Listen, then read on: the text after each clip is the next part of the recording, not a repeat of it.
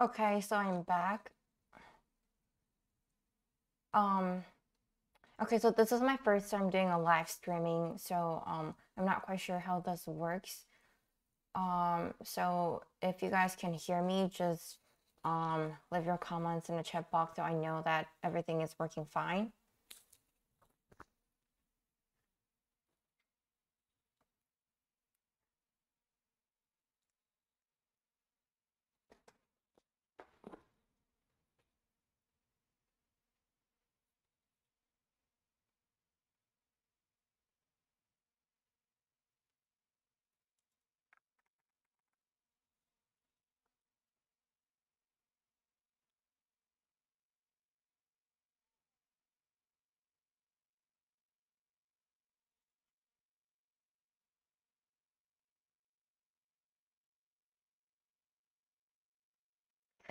Okay, so um, I will start with a brief review of the Unit 5, which is kinetics. So when it comes to kinetics, it literally just means the reaction rate um, in chemistry in all types of the chemical reactions. So then first off, I need to define uh, what it means by the reaction rate, and then I want to know why we need to study the reaction rate. Um, so reaction rate literally means the speed of a reaction. So the speed of the reaction matters in um, the everyday life. Um, so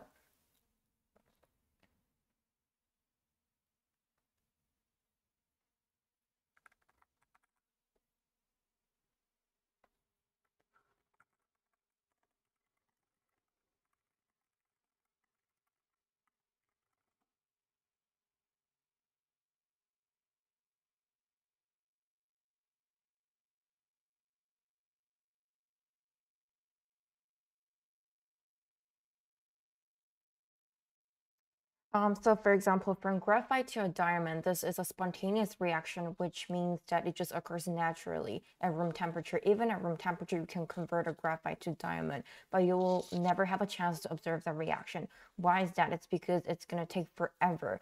It takes about 1 billion to 3 billion years um, for a graphite um, to be converted from a um, to be converted to the diamond form, which means um, it's basically impractical to our real life. Um, it's it's just irrelevant to my life. Like um, the average lifespan for human beings, like 80 years, 90 years, so one billion year. Um, it doesn't really matter to us. So that's why we need to study the reaction rate, and we want to study the reaction rate of different um, reactions. Am I going to do go over every unit today? No, no, no, no. Um, that's way too many units. Um, so I think I'm gonna focus on unit five because I've already uploaded four videos from unit one to unit four. So I will briefly go over unit five, and um, and then I'm gonna do uh, and then we can go over a couple of FRQ and MCQ questions um related to unit one to unit five. Um, the Fiveable notes, I think they're pretty good. I think it's very comprehensive. Um, but they have some of the extra extra stuff that you don't need to know for AP chemistry. In general, I think it's really good. And the organic chemistry tutor is also pretty good.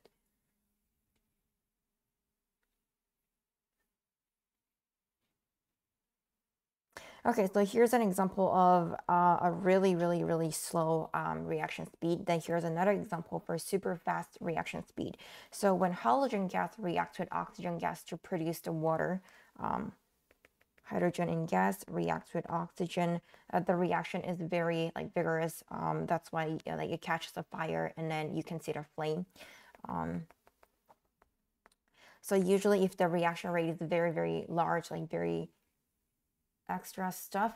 Um, yeah, there are some of the extra stuff that's usually not so important to AP chemistry and then that you wouldn't really be tested. Um, like some of the diagrams, like some advanced stuff.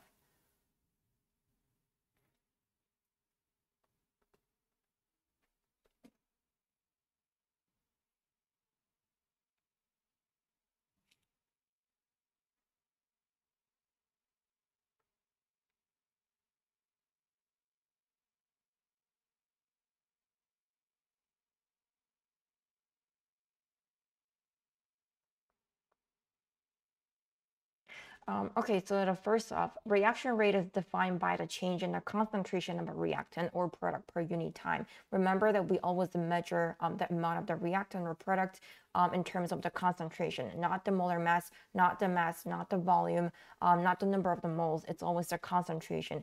So if the concentration doesn't change, then it means that this reaction is not actually going on. There's no reaction going on. Um, we're going to uh, learn more, more about that later in equilibrium. So let's say for this reaction, um, the reactant is represented as the blue line, and then um, the product is represented as uh, the red line. So the product goes from zero, and then the concentration gradually increases, while the concentration of the reactant gradually decreases. Then the reaction rate for this reaction will be equal to um, delta change in the concentration of the reactant, which is um, blue, divided by um, the span of the time, delta t, and then I'm gonna put a negative sign in front of that because the blue the blue line is actually decreasing, which means its rate of change is a negative value. But for the reaction rate, I just want a positive value or an absolute value. Or I can represent it as delta, um, which is change in the concentration of the red, which is the product, divided by time. And for the reactant, the amount is increasing or the concentration is increasing. So I don't have to put any negative sign on it.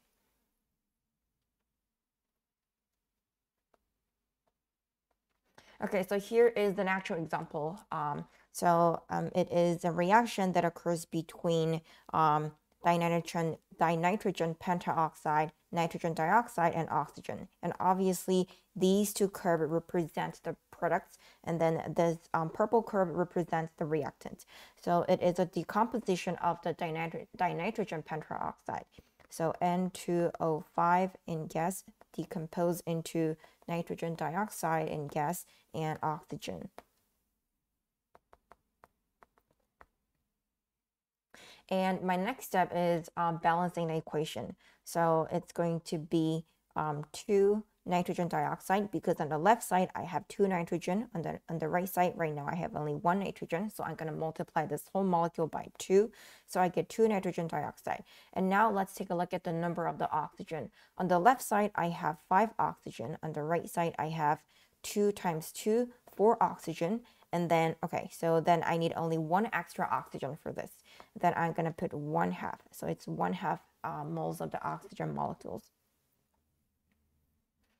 And eventually I want to convert all the coefficients into a whole number or um, the integers. So I multiply all the coefficients by 2. So it's 2 dinitrogen pentaoxide um, decomposed into 4 nitrogen dioxide and gas and 1 mole of the oxygen gas. And now I'm going to write the reaction rate. The reaction rate is equal to either negative of delta um, concentration of the reactants, dinitro dinitrogen pentoxide over time, or the rate of change in the concentration of the product, let's say um, di nitrogen dioxide over time. The thing is, um, these two uh, these two agents, reactant and product, they don't have the equal coefficient, which means I will have to balance it. Because what I mean by two and four is every time two moles of the dinitrogen pentoxide is consumed, then four moles of the nitrogen dioxide is produced. But when it comes to rate, I want to have the exact same number, um, no matter what what reagent I use to do the calculation. So I will have to put the reciprocal of 2 so it's negative one half of um, change in the concentration of the reactant over time or one fourth of the change in the concentration of the product over time. Or you can use the oxygen, concentration of the oxygen to represent it. But oxygen only has coefficient of one, so it will be delta um, concentration of the oxygen over delta T.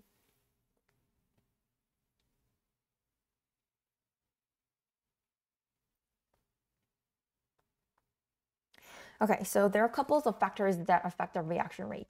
One is the reactant concentration. so greater reactant concentration means the greater uh, reaction rate or the faster speed of the reaction. Um, the second is the surface area. Um, okay, so um, let's say you have the granulated sugar and then the powdered sugar and then you're going to dissolve it in water then which one dissolve faster of course it's the powdered sugar right um, so the, the greater the surface area the larger the reaction rate I mean, the dissolving sugar in water, it's not actually a chemical change, that's a physical change, but it's very similar. So either for the chemical reaction or the physical change, the greater surface area always leads to a larger reaction rate. And then the next is the temperature.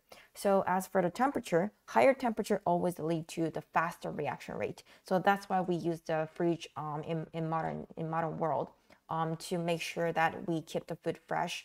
Um, okay, so everything, like including food, um, it goes through oxidation, um, oxidation, or um, it just it, the food is the food just goes bad um, if you don't keep it in the fridge. So by keeping the food in the fridge, you are lowering the temperature to, um, and then eventually you are lowering the reaction rate. So you are actually just slowing down the decomposition of the food. It does not really prevent food from um, like being spoiled. And then the very last one will be the catalyst. Um, the catalyst, um, so not every single reaction has a catalyst, but for some of the reactions, when you put a catalyst in it, um, the catalyst reacts with a reactant and then it um, speed up the reaction rate. So there are like four factors in total. And when it comes to rate law, we only study the relationship between the reaction rate and the reactant concentration. Um, so one thing you need to remember is that when you have the overall chemical equation, the coefficients of that chemical reaction has nothing to do with a rate law. So how I write the rate law is um, rate is equal to the reaction rate constant K multiplied by um, the reactant A to the power of X, reactant B to the power of Y. Of course, they are measured in terms of the concentration. So let's say here is a chemical reaction. 2A react with 3 moles of B to produce a compound A2B3. Okay, that what um, the type of mistakes that a lot of people make is um, they just take the coefficient of the reactants A and B and then they write the rate law as rate is equal to K times concentration of A squared, concentration of B cubed. This is completely wrong. This is completely wrong. And this is one of the most common mistakes So, oh, what about pressure? So pressure, when it comes to gas, it's actually the same concept as the concentration. So pressure is proportional to the concentration. So basically, um, when you're increasing the pressure, you're increasing the concentration.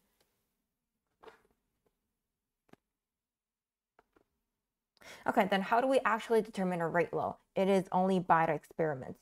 So we'll have to do experiments multiple times or multiple trials. And then for the, every trial, you are going to adjust the concentration, initial concentration of each of the reactants. Um, so let's say for, for, uh, for this reaction, you have two different types of the reactants. One is um, the green molecule um, or the green atom. The other one is the red particle.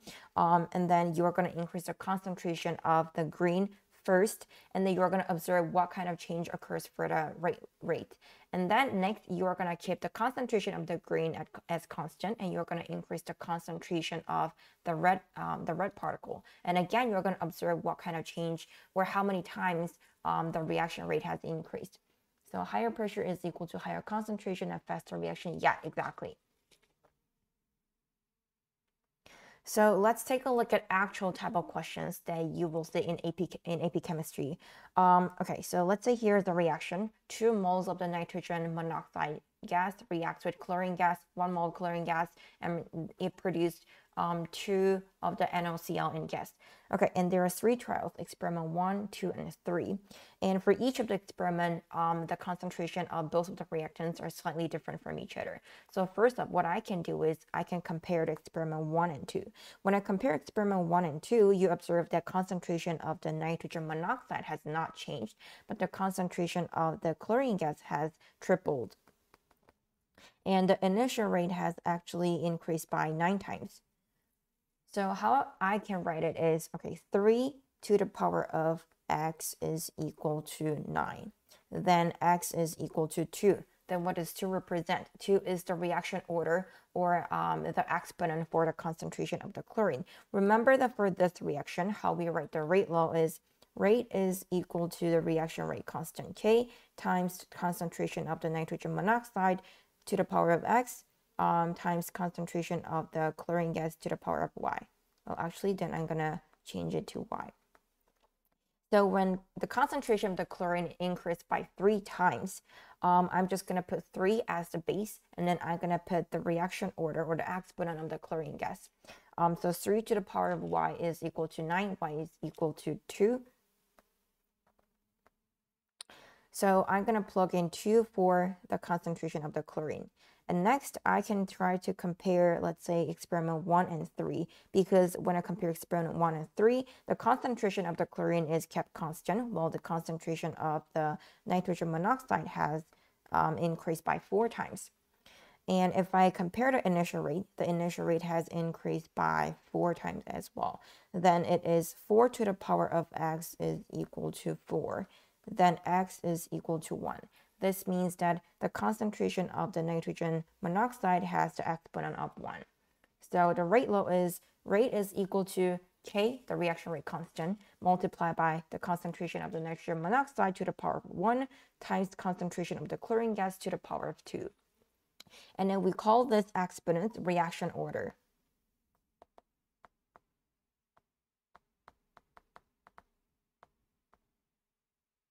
So for this reaction in total, uh, we, we say that this reaction is like th the third order reaction. Okay, so here's another example. Um, so ammonium NH4 plus in aqueous state reacts with uh, nitrous um, nitrate in aqueous, um, and then they produce nitrogen gas and then two moles of the water molecules. Um, and there are three trials as well. Um, so I will have to find like two trials and I will, have to compare two trials um, mm, in which one of the reactant has changed the concentration while the other reactant um, keeps the same concentration. Okay, then I can compare experiment 1 and 2.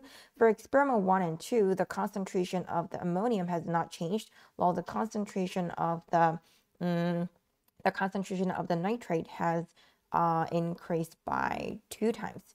And then the initial rate has increased by two times as well. Okay, so again, the rate law for this um, overall reaction goes by rate is equal to reaction rate constant K uh, multiplied by the concentration of the ammonium to the power of X times the concentration of the nitrate to the power of Y. The different graphs of different orders, yes, I will go over um, all of the three graphs um, yeah, later. Um, so again, the change in the concentration of nitrate corresponds to the order y. So 2 to the power of y is equal to 2, then y is equal to 1. So I'm just going to plug in 1 in place of y. Um, and then next, I can try to compare experiment 2 and 3. For experiment 2 and 3, the concentration of the nitrate um, is constant, and then the concentration of the ammonium has increased by twice. So now it's 2 to the power of 2 to the power of x is equal to, and then the initial rate has increased by 2 times as well. 2 to the power of x is equal to 2, x is equal to 1. So again, I'm going to plug in 1 for the x. So in total, the rate for this reaction is equal to the reaction rate constant K multiplied by um, the ammonium to the power of 1 multiplied by the concentration of the nitrite to the power of 1.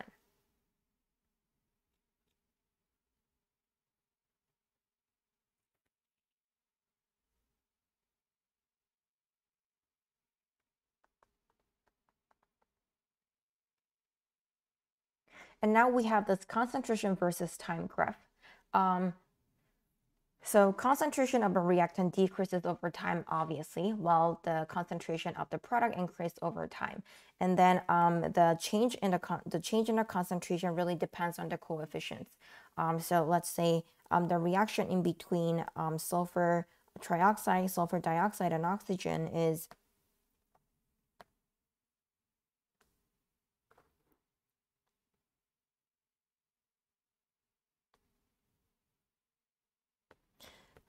SO2 in gas reacts with oxygen gas and um, it produces SO3 gas. Um, so it's going to be 2, 1, and 2. It's the balance equation. Um, so it means that every time two moles of the um, sulfur dioxide is consumed, two moles of the sulfur trioxide is produced, and then one mole of the oxygen gas is produced. So that's why the change in the concentration of the uh, the, the change in the concentration of the oxygen is obviously less than the change in the concentration of the sulfur dioxide and the change in the concentration of the sulfur trioxide.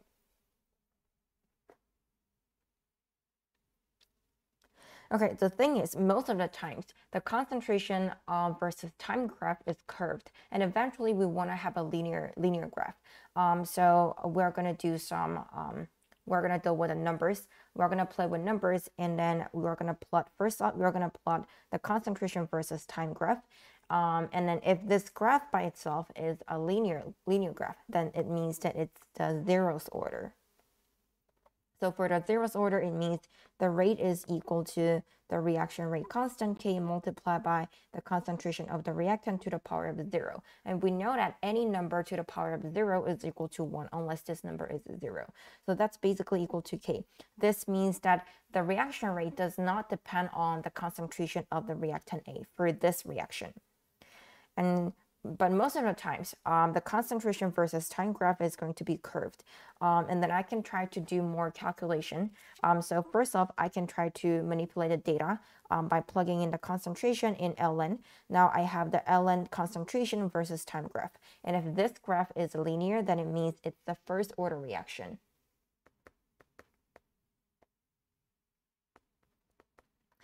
So this means rate is equal to k times um, concentration of the reactant A to the power of 1.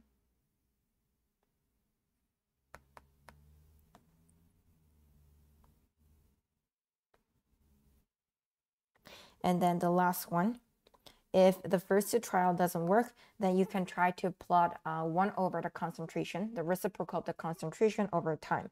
And if this graph shows a positive linear relationship, then it means that this is a second order reaction. So rate is equal to K times concentration of A to the power of 2. Next is the half-life. So half-life is the amount of time taken for a reactant concentration to decrease to one half of its original value.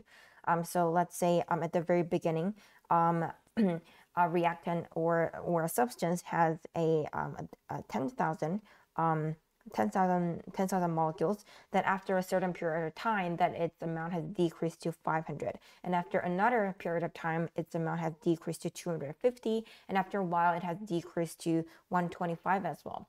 And uh, for the first order reaction only, the half-life is always constant. So the amount of time taken for this reactant to have is exactly the same.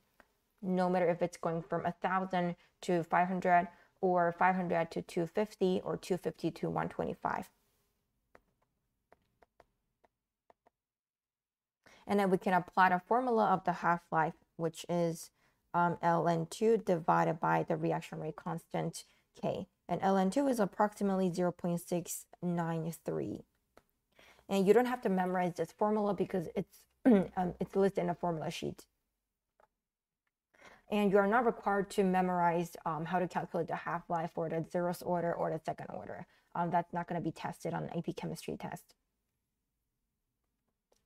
Okay, so again, reaction order um, versus a linear graph. So what we're trying to do is I'm trying to find a linear relationship between the concentration of the reactant and versus time.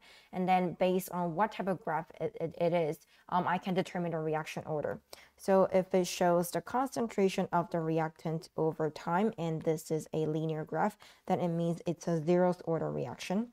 And if it's ln concentration of the reactant over time, and then it shows a um, linear relationship, then it's a first order reaction.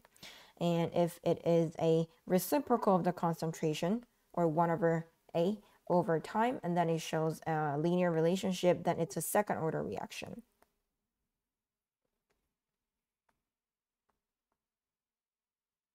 Okay, so now we're done with um, the relationship between the concentration and time, the relationship between initial rate and then the concentration. Um, okay, so all of those were the macroscopic perspective, which means we can actually measure the concentration or measure the time. Um, but now we're going to take a look at what's actually happening on the, on the part, part particle level or the molecule level. Um, that we need to study reaction mechanism. So reaction mechanism, I just call it a recipe for the chemical reaction. Um, so it, it includes a series of elementary steps. So let's say um, I want to do baking, then my ingredients um, in the recipe is like flour, milk, like egg yolk, um, and then a bunch of other stuff and eventually I will have the bread as the product. But this recipe but but this ingredient list does not really tell me like what each step is. Like let's say for step 1 I will have to mix like egg yolk and then a flour. Uh, like step 2 I have to add um butter and step three i will have to set the oven at let's say 400 degree and step five i have to bake it so there are multiple steps uh, for this recipe, but ingredients list is like an overall chemical reaction. It only shows the initial reactants and then the final products. It does not show what's actually going on.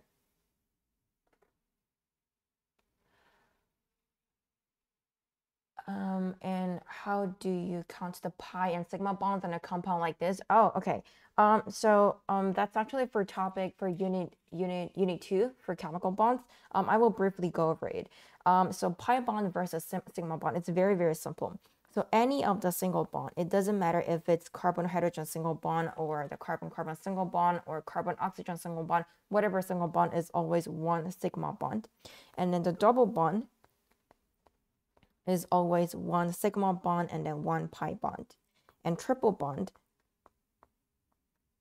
is one sigma bond and two pi bond. Um, so let's say, for example, for this molecule, it has 1, 2, 3, 4, 5, 6, 7, 8, 9, 10. It has um, 10, um, no, actually here we have um, the, the carbon and nitrogen. So in between the carbon and nitrogen, we have a triple bond. So uh, it's going to be uh, 6, 7, 8, 9, 10, 11. Um, so we have 11 sigma bonds and then we have 1, 2, 3, and then uh, triple bond here. So four, five, five pi bond. Or let's say for this molecule, um, you have one, two, three, four, five, six, seven, eight, nine, nine sigma bond, and then you have one, two, three, four, four pi bond. Okay, so going back to the reaction mechanism. Um, so reaction mechanism includes a series of elementary steps, just like the recipe for the baking includes like um, step-by-step -step guidelines. And then each of the step is called elementary step. Um, and then remember that for elementary step, you barely see that more than two molecules react. Um, so most of the times it's two particles react with each other. You barely see like three or greater than three particles react at the same time. Okay, so for example, uh, for this reaction of nitrogen dioxide reacting with um, carbon monoxide um, to produce nitrogen monoxide and carbon dioxide, um, it has two steps, two elementary steps. The first step is nitrogen dioxide react with itself um, to produce nitrogen trioxide and then nitrogen monoxide. This is step one. And then for the step two, the nitrogen trioxide produced in step one reacts with carbon monoxide to produce nitrogen dioxide and carbon dioxide. This is step two. So there are two elementary steps. Okay, and remember the nitrogen trioxide is produced in step one and it's consumed immediately in step two. So for these type of um, for this type of reagent, we call it intermediate. And you cannot find intermediate in the reactant side or the product side of the overall chemical equation. It is just formed during the, um, the reaction process and then consumed.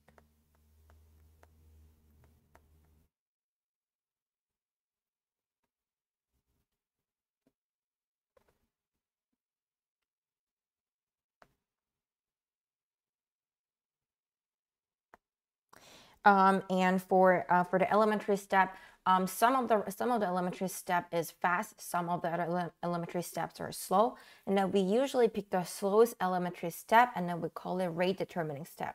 Okay, so let's go back to the baking example. Um, let's say there are like four steps in total, and then like first three steps takes like five minutes each, and then the last step baking takes 40 minutes. Then what actually determines like how long it takes for me to bake is the last step, the longest step, um, the step that takes the, the longest amount of time. So that's exactly the same for the reaction mechanism. The slowest step is what we call by the rate determining step. And this is especially important because we're going to use this step to try to write on the rate law.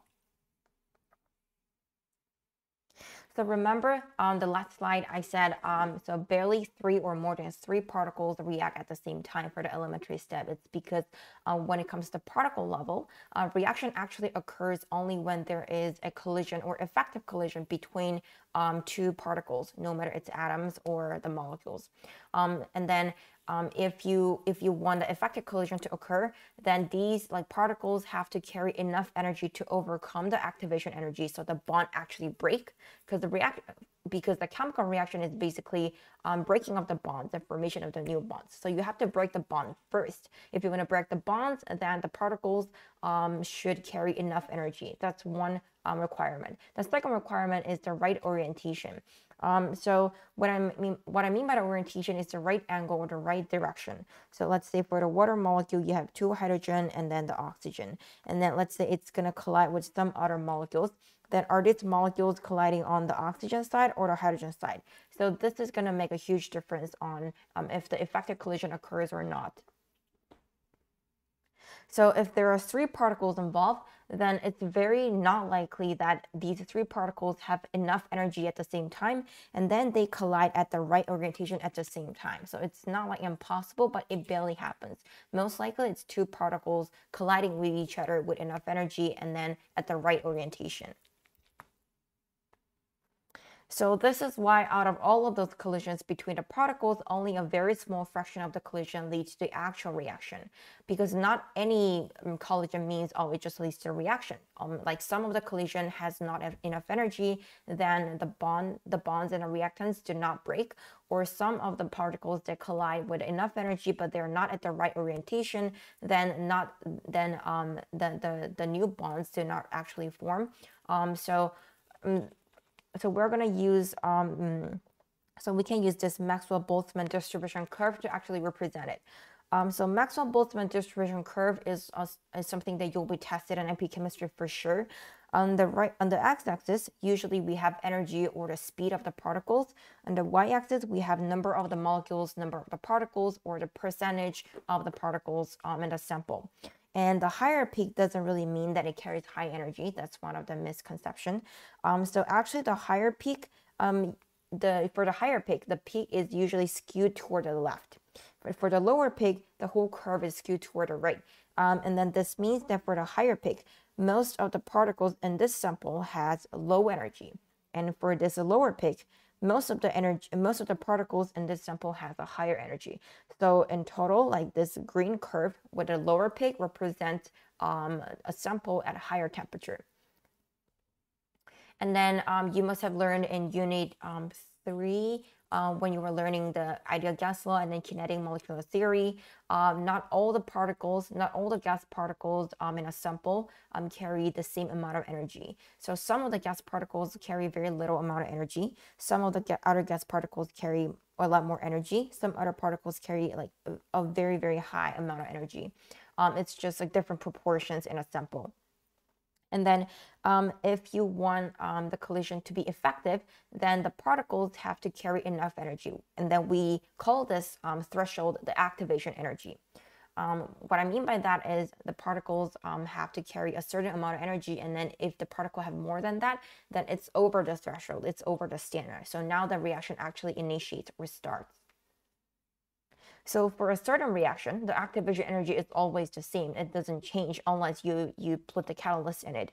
So higher temperature actually increases the reaction rate because higher, higher temperature means that more percentage of the particles um, in the reactant or in, in the sample carries um, the energy that's greater than activation energy compared to low temperature sample.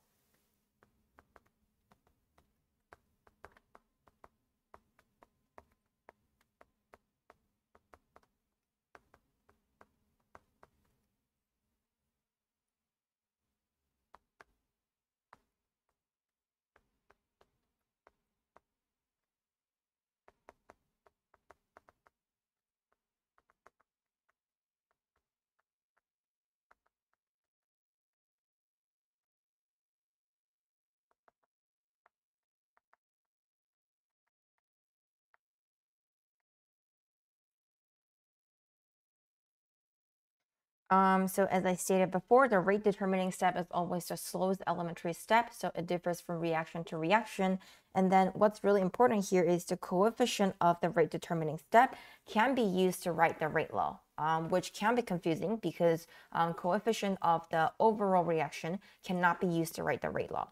So let's say, uh, for example, step one is the rate determining step. Then it means rate um, is equal to K reaction rate constant multiplied by the concentration of the um, nitrogen dioxide to the power of 2 because 2 nitrogen dioxide means it's 2 moles of the nitrogen dioxide. The coefficient is 2. So I will raise the concentration to the power of 2.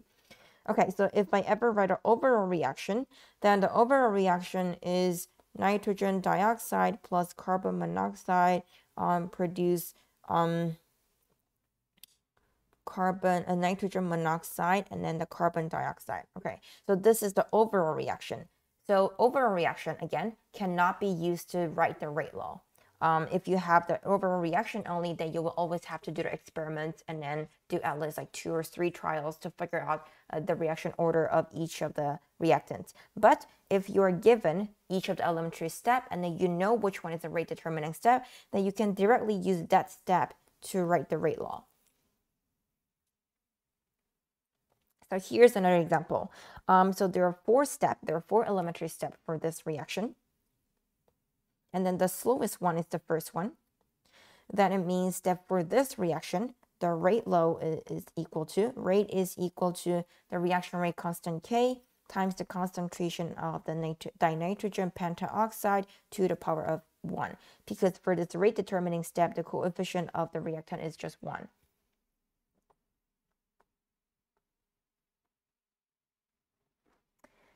And then now it's the catalyst. So um, catalyst is something um, that does not actually participate in the reaction or it's not actually consumed during a reaction.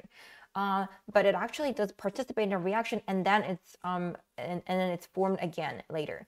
So let's say hydrogen peroxide dissociates into water and oxygen. So usually I wear like soft contacts, like soft lens contacts during the day, and then I will have to clean it every day using the hydrogen peroxide by putting it in this like special um, like neutralizer. And in a neutralizer at the bottom, like there is a metal coated with like palladium, PD. And then what it does is it actually speeds up the dissociation reaction of the hydrogen peroxide. So hydrogen peroxide, um, if you directly like put it in your eyes, it burns, it stings my eyes a lot. Um, but if you put if you, if you put the contact lens in this um, neutralizer, then um, you will see that a lot of bubbles came out, which means the reaction is like um, reaction is going on like very fast. Um, and in the morning, after like six or eight hours, you will see, you will actually observe that all the hydrogen peroxide has been neutralized to the water.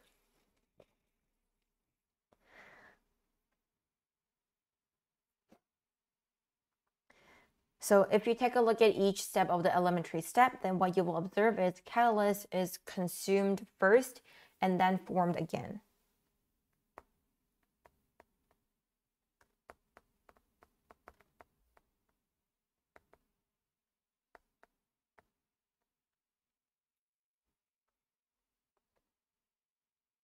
And then catalyst, um, what it actually does is um, it actually lower the activation energy. Um, so remember that's like Maxwell-Boltzmann distribution curve. So um, given that usually activation energy threshold is right here, um, one way to increase the reaction rate is by raising the temperature. By raising the temperature, um, the whole curve is skewed toward the rate, and then more of the particles in the reactant will carry enough energy to overcome the activation energy. And that's one way to to to uh, make the reaction rate faster. The second way is to use a catalyst. But by using a catalyst, you're actually lowering the threshold. You are lowering the standard. Um, so even if the temperature is kept constant, more particles uh, will carry the energy to overcome or um, the activation energy. This is the Maxwell-Boltzmann distribution curve. And the left, this is just a regular potential energy curve, um, which shows the potential energy of the reactants and the products. So this is the reactant, this is the products. Um, so um, this is an exothermic reaction because the product is obviously at a lower energy level compared to the reactants, but it doesn't really matter for the, um, the activation energy. So activation energy on this curve is the difference between the peak and the reactant. So this amount represents the activation energy. um, which means if you want this reaction to occur or initiate, you will have to put in that amount of energy first. So this explains exactly why the graphite to diamond reaction does not occur in a very um, it, it, does not really occur or um, it's like super slow at room temperature because the room temperature like they the the, the graphite graphite particles just don't have that many energy to overcome the activation energy. So that's why the reaction rate is so slow. But by putting the catalyst in uh, or mixing the catalyst with the reactants it lowers the activation energy. So now it, it will be much easier for the particles to overcome the activation energy and initiate the reaction, which makes the reaction rate faster. Um, so that's it for unit five. So it's a like very quick um, like overview of unit five. And then next, what I want to do is um, I want to go over these um, questions um, on the past paper and then it includes all the topics from unit 1 to unit 5 so unit 1 is um, atomic structures and properties the periodic trend. Unit 2 is chemical bonds um, ionic bond covalent bond metallic bonds. Um, and unit 3 is intermolecular force um, solubility and then ideal gas law um, and then um, electrochem. Uh, what do you exactly mean by electrochem? Do you mean like electron configuration or Oh, or do you mean by the unit 9? Like thermochemistry, like galvanic cell and then the electrolytic cell?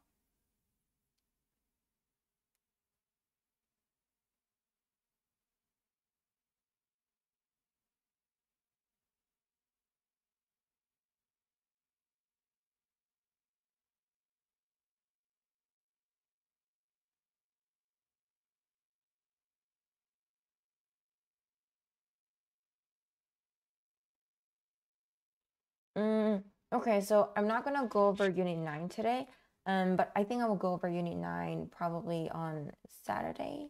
Mm-hmm. Because I'm gonna hold this like live stream session until um until until May 1, until May 1st. No, actually the April 30th. Um, yeah, titration. I know like titration, unit 8, um, um acid base, and then unit 9, like those are the most important topics or most confusing topics. I'd say starting from equilibrium. So equilibrium, acid base, and like galvanic cell, electrolytic cell. Um, those are three most confusing topics. Um, I will try to go over them like not not today. Um, yeah. Okay. Um, so let's say um, well, let's get started with rate related questions because we literally just went over the rate laws. Um, okay, so this is an FRQ question. Um, I think it's from 2019 or 2020. Uh, spectroscopy will go get into in detail. Yeah, spectroscopy is included in today's um in, in today's material. So nitrogen dioxide is produced as a byproduct of combustion of um, fossil fuel in, in internal combustion engines. At elevated temperatures, nitrogen dioxide gas decomposes according to the equation below.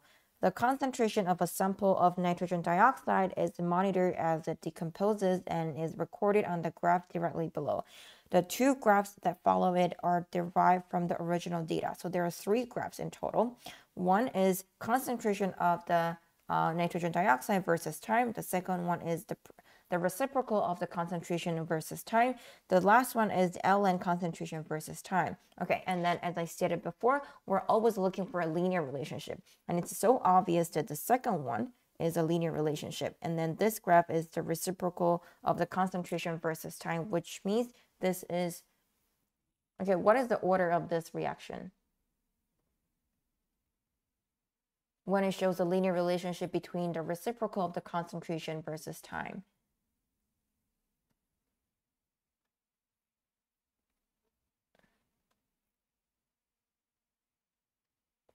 That's going to be a second order reaction, right? So explain how the graph indicates that the reaction is second order. Um, so for this type of um, explanation or like justify your answer type of question, it's actually very simple. You just need to write one sentence um, because the 1 over concentration of the nitrogen dioxide versus time graph is linear. That's it. Great. Second order. Um, B, write the rate law for the decomposition of the nitrogen dioxide. Okay, since this is the second order um, in terms of the nitrogen dioxide, then rate is equal to um, reaction rate constant K times concentration of the nitrogen dioxide squared. That's it. And consider two possible mechanisms for the decomposition reaction. One, is the rate law described by mechanism 1 shown below consistent with a rate law you wrote in part B? Justify your answer. Okay, so there are mechanism 1 and there are two elementary steps. The first one is the slow um, slow step. The second one is a fast step, which means the which means the rate determining step is step 1. And then rate determining step, um, for the rate determining step, we can use the coefficients for that to directly write the rate law. So according to this mechanism, rate is equal to reaction rate constant K times concentration of the NO squared. And then these two match each other. So this is a possible, or like this, this is consistent with a rate law that I write in the last part. And when it says justify your answer, you just need to write that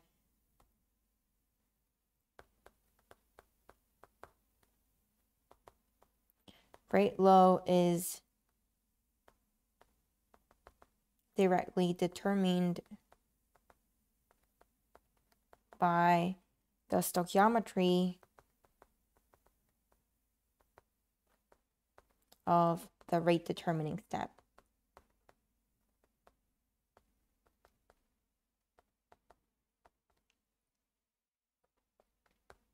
And step one has two moles of nitrogen dioxide as the reactants. And number two is the rate law described by mechanism two, consistent with a rate law that you wrote in part B. Okay, there's another mechanism um, so it's like there are different recipes given that they're, the, the ingredients and the product is the same. So step one is a fast equilibrium. Okay, so for the fast equilibrium, it means that this reaction is very, very fast and then the forward reaction rate is equal to the reverse reaction rate. And the second step is the slow step, which means for um, question number two or for mechanism two, the rate goes by rate is equal to reaction rate constant K multiplied by the concentration of the dinitrogen um, tetroxide to the power of 1. The thing is, dinitrogen tetroxide is not um, the uh, one of the reactant for our reaction, for this reaction. Okay, then I will have to rewrite um, the concentration of the dinitrogen tetroxide in terms of um, nitrogen dioxide. And how I do it is by using the fast equilibrium. Since it's equilibrium, then it means that means the forward reaction rate is equal to the reverse rate. So for the forward rate, let's say the reaction rate constant is K1, and then for the reverse, let's say it's K2. It doesn't really matter how you label it. It can be Kx, Ky, K2, K3, K4, Kz, whatever. It's just a constant. So for the forward reaction rate, that will be K1 multiplied by the concentration of the nitrogen dioxide squared.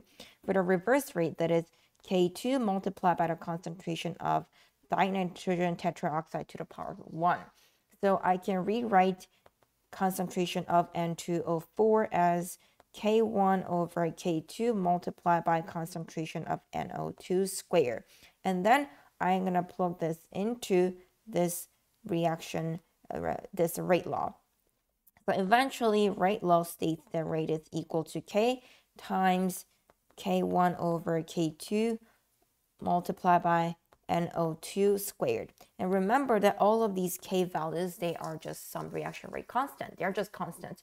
So when you just multiply by multiply them together or just um mm, or when you do the sum like division, there's still a constant. So eventually it's going to be some kind of reaction rate constant. um, multiplied by NO2 squared. So it's still the second order reaction for the NO2. So for mechanism 2, um, it still holds true for what we wrote for the rate law in part B. So both mechanisms are possible. So mechanism um, are something that we cannot really test um, using um, the experiment or lab. So we can just come up with like couples of different hypotheses for the mechanism and then try to figure out which one is fast, which one is slow, and then try to write the um, reaction rate, uh, the rate law, and then see if it complies with what we already know. And for this case, both mechanism one and two um, seems like correct.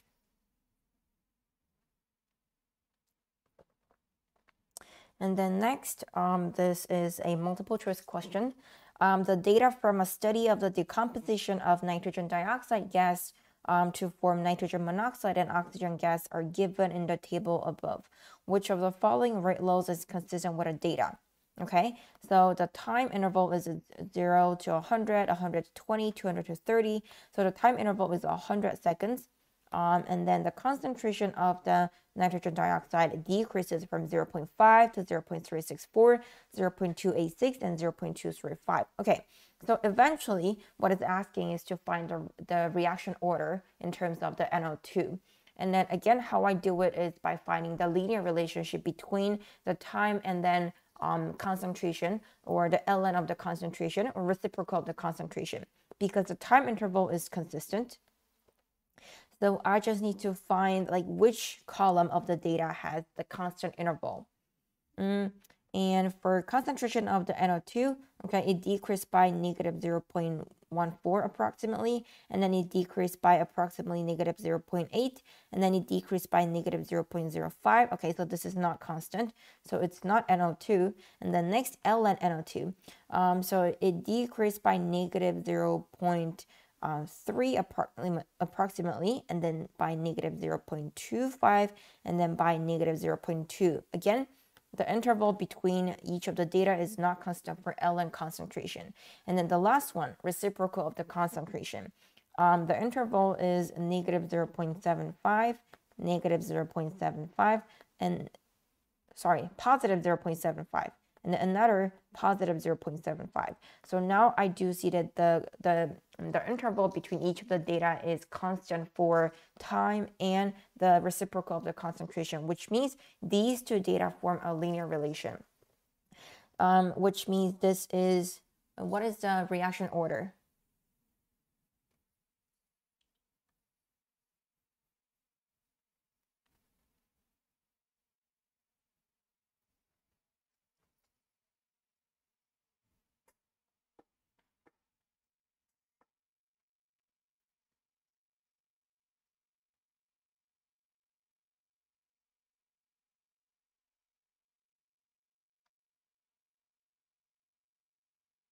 Okay, um, anybody want to type the answer in the chat box?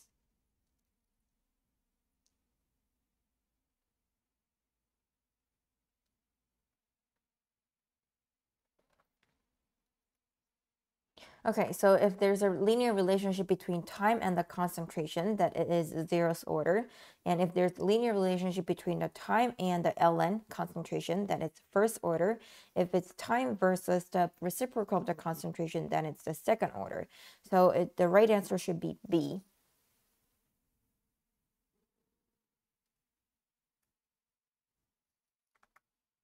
Okay, any question uh, for unit 5? Or any question for rate law.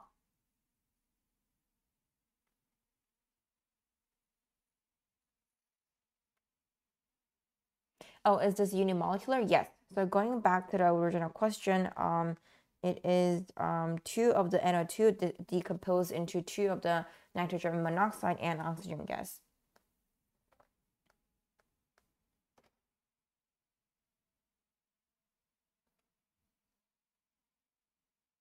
Um, okay, so if you don't have any other question, then I think I can go over, is there a similar problem? Um, not for today. I think for today, we have only a few reaction rate um, problem. So I did take a look at the most recent past papers from 2019 to 2022, and then I didn't see that many rate law related questions. There are way more, I, I do see way more Unit 3 intermolecular forces um, and acid base and equilibrium, a lot more equilibrium.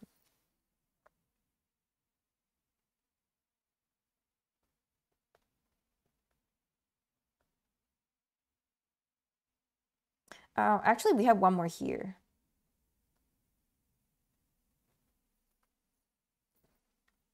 The following equation represents the decomposition of di dinitrogen pentaoxide for which the rate law is rate is equal to K times N2O5. A sample of pure N2O5 in gas is placed in an evacuated container and allowed to decompose at a constant temperature of 300 Kelvin.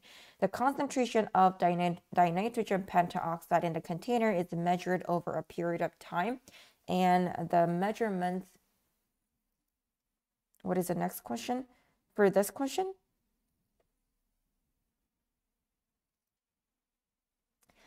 The concentration of the N2O5 in the container is measured over a period of time and the measurements are recorded in the following table. So this is time versus the concentration. Um, determine the value of the rate constant K for the reaction and include units in your answer. So we're already given that this is a first order reaction. So rate is equal to K times the concentration of the N2O5.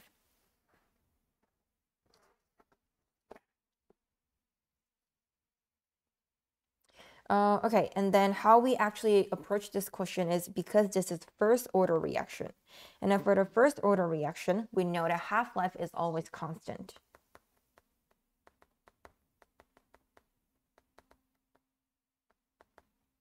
Okay, now let's see. When the concentration of N2O5, which is a reactant, decreases from 0.160 to 0.08, that's multiplied by 1 half. Uh, when it decreases to 0.04, that's multiplied by 1 half again. Okay, so for each of the data, the concentration is halved and the time difference is the same. The time interval is always 1.67 hour, which means the half-life for this first order reaction is 1.67 hour. And half-life is equal to ln2 divided by the reaction rate constant K or 0.693 over the reaction rate constant K. So the reaction rate constant K is equal to, by rearranging the equation, 0.693 divided by 1.67 hour. Remember that for the reaction rate constant, we always need to include a unit. So the answer is 0.415 per hour. And depending on the reaction order, um, the reaction rate constant K will have different units. So the first order reaction, second order reaction, and then the zeroth order reaction will have different unit for K.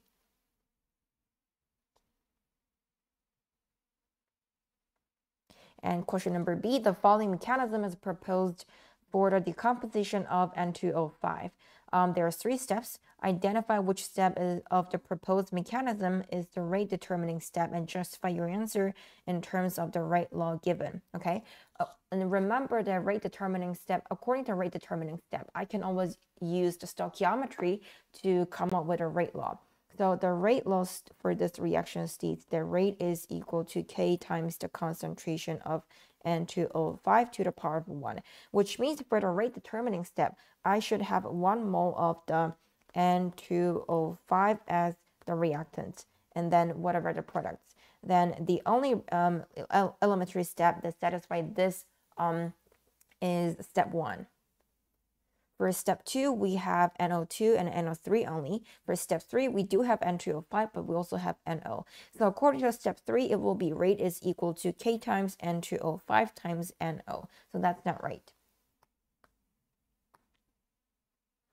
So how I justify the answer is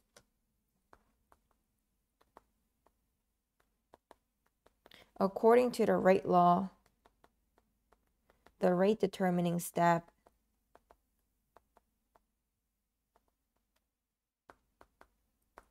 has only one mole of N2O5 as the reactant.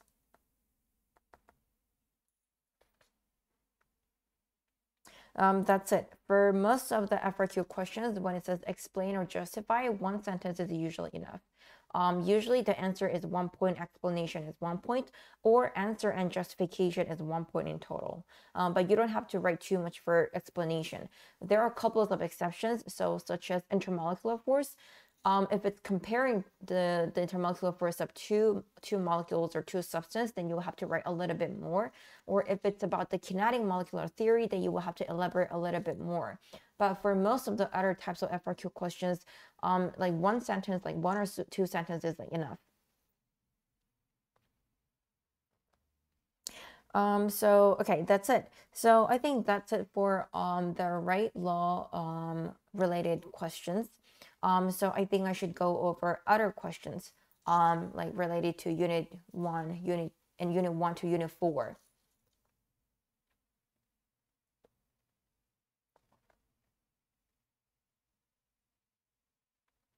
So I'm going to start from this question.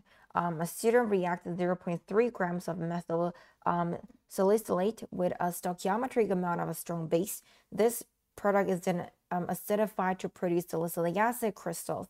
For every one mole of uh, the methyl salicylate reactant used, one mole of salicylic acid crystal is produced. Calculate the maximum mass in grams of the salicylic acid crystals that could be produced in this reaction.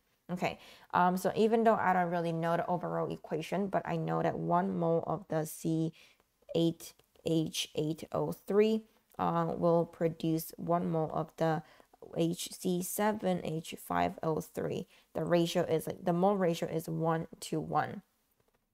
And then uh, it says with stoichiometry amount of strong base, which means the amount of strong base um, is exactly um, the is the right amount to react um, all of the all of the methyl salicylate then the maximum mass of the, the product. Okay, so this is a typical stoichiometry problem.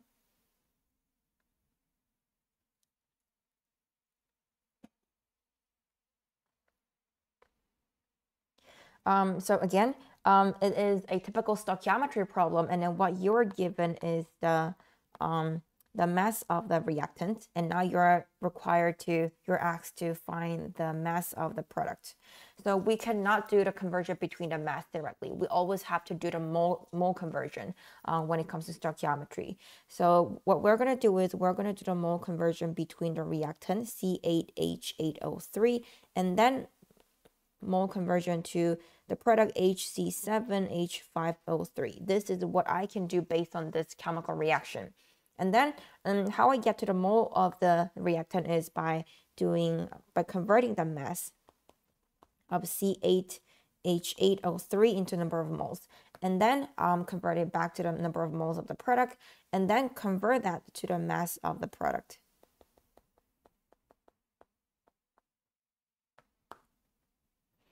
Okay, so for the conversion between the mass and then the moles, we're going to use the formula, uh, mass is equal to number of moles multiplied by the molar mass. So going backward, going from mass to the mole, that will be number of mole is equal to mass divided by the molar mass. So it's going to be 0.3 grams of the methyl um, salicylate divided by its molar mass, which is 152.15 grams per mole. So now you have the moles of the um, methyl salicylate, and now you're going to convert it to the mole of the product. Okay, so the mole ratio between the reactant and product is 1 to 1. So for every 1 mole of C8H8O3, 1 mole of HC7H5O3 is produced. And then you're going to convert it back to the mass by multiplying it uh, with the molar mass of the product, which is 138.12 grams per mole.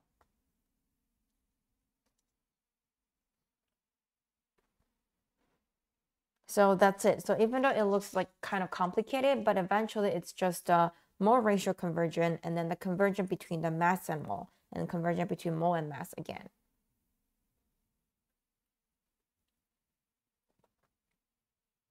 After preparing the solution, the student place, places some of the solution in, into a beaker and then adds a sample of aluminum. the reaction represented by the following equation occurs.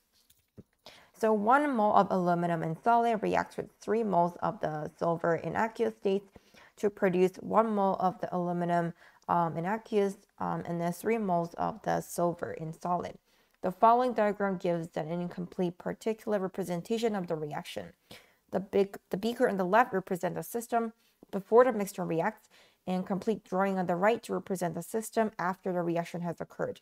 Be sure to include 1. the correct type and the number of the particles based on the number shown on the left, and 2. the relative spacing to depict the appropriate phases. Okay, so now we observe that um, the cations of the silver um, are converted back to, um, oh, I didn't do the calculation. Um, so now we know that the cations of the silver have been converted back to the silver. So um, silver in solid, which means they will um, solidify. Um, so it's going to be silver, silver.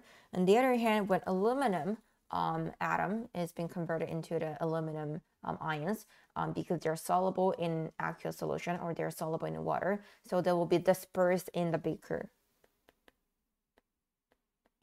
And now I will have to match the number of the moles.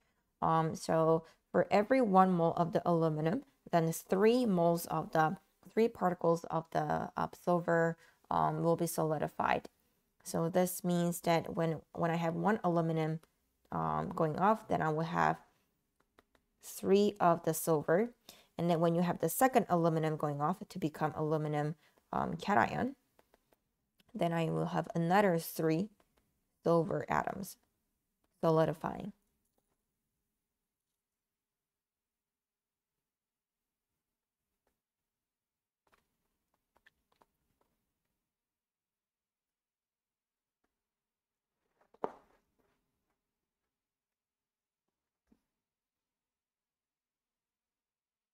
As part of the experimental procedure to purify the um, HC7H5O3 crystals after the reaction is complete, the crystals are filtered from the reaction mixture, rinsed with distilled water, and dried. Some physical properties of HC7H5O3 are given in the following table.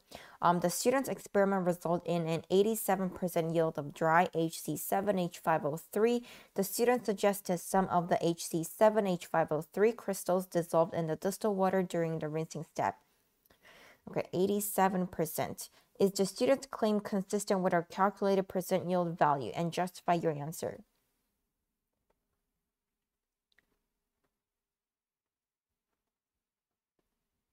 Okay, so um, some of the um, the product crystal, the products are dissolved in the distilled water during the rinsing step, which means um, some of the products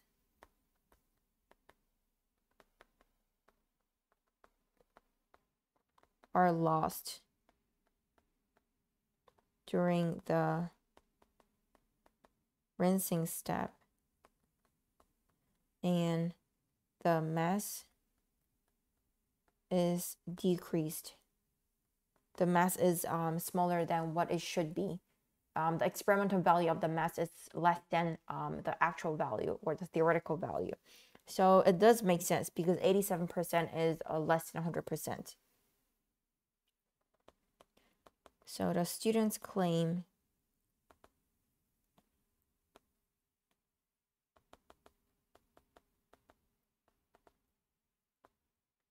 is consistent with the percent yield calculated.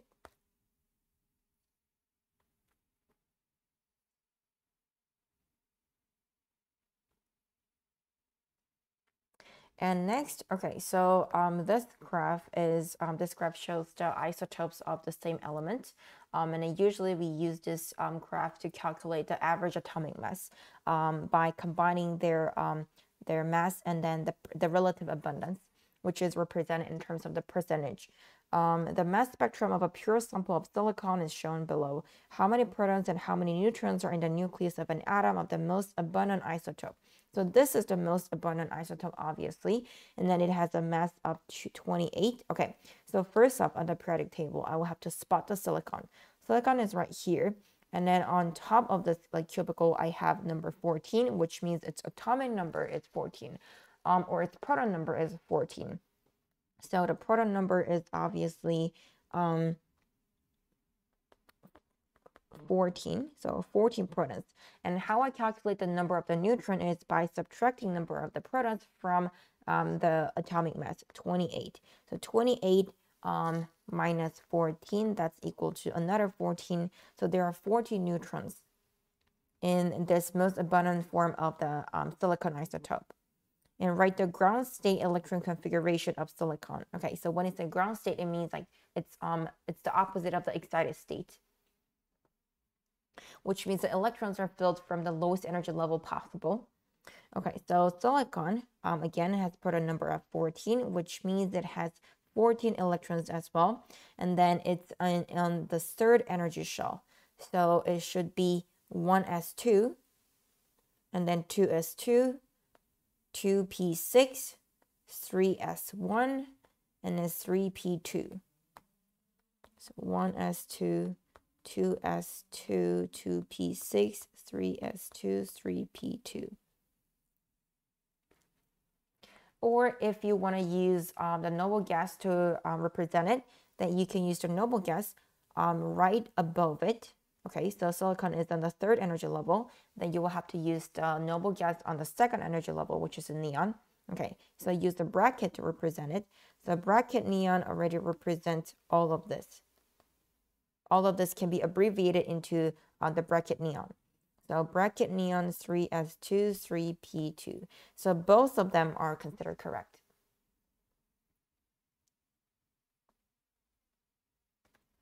The next question, um, two compounds that contain silicon are silicon dioxide and silicon tetrahydride. At 161 Kelvin, silicon tetrahydride boils, but silicon dioxide remains as a solid. Using principle of interparticular forces, explain the difference in boiling points.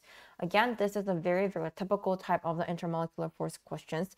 Um, it's testing you on the difference in the boiling point, but boiling point, melting point, all of these um, are actually all related to the intermolecular force. So higher boiling point actually means higher intermolecular force, or higher melting point means higher um, intermolecular force. So obviously, it's saying that silicon tetrahydride um, has uh, a smaller um, intermolecular force compared to the silicon dioxide. Okay, so silicon dioxide, that's one of the common examples that we learn when we learn the covalent network structure. So silicon dioxide has covalent network structure, which means each of the atom is bonded to all every other atom and there is no clear cut um, as one single unit as like molecule. So one silicon is bonded to four oxygen, and then every oxygen is bonded to um, two of the silicon.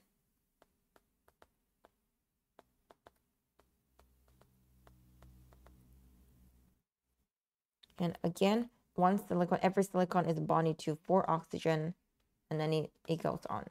So um, every single atom is bonded to each other. So, um, and it is why a lot of covalent network structure has a very, very high melting point and boiling point. Um, so um, the, the, the diamond, the pure carbon, um, the graphite, they both have very, very high melting point, about 4,000 Celsius degree, like 3,600 Celsius degree. It's because both of them have the covalent network structure. On the other hand, for the silicon tetrahydride, obviously it's a molecule it's silicon um, covalently bonded to four hydrogen atom by silicon hydrogen in single bonds. So silicon um, tetrahydride is a molecule and London dispersion force between silicon tetrahydride molecules are easier to break. Easier to break means it takes a less amount of energy to break. Easier to break compared to covalent bonds in silicon dioxide.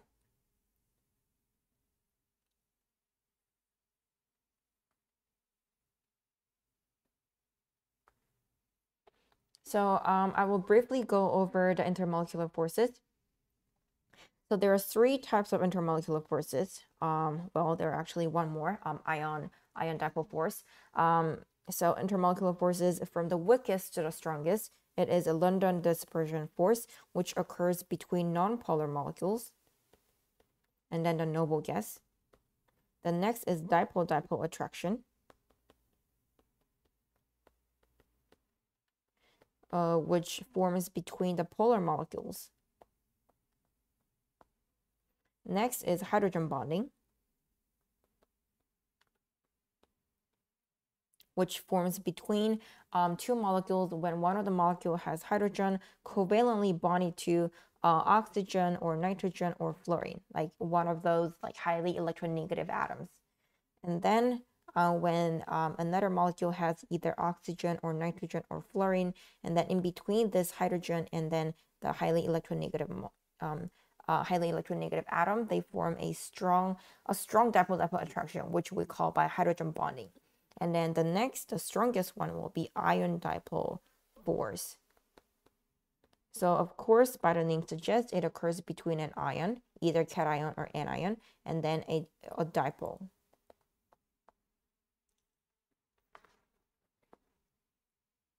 And silicon tetrahydride, um, it has a, um,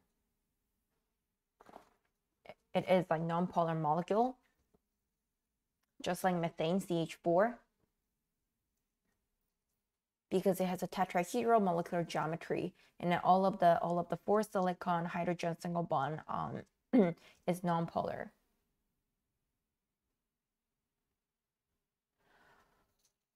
Uh, general shape of the graphs in chemistry sometime um yes like what kind of uh, general shape of the graphs um like what graphs are you referring to exactly Oh, okay, the ionic and covalent strengths. Okay, so intermolecular forces, intermolecular means between the molecule. And then um, for the covalent bond and ionic bond, they're just called chemical bonds, right? Or metallic bonds. So chemical bonds form between the atoms. So for the chemical for the chemical bonds, we have ionic bonds, which is the strongest, and then we have the covalent bond, which is sharing of the electron.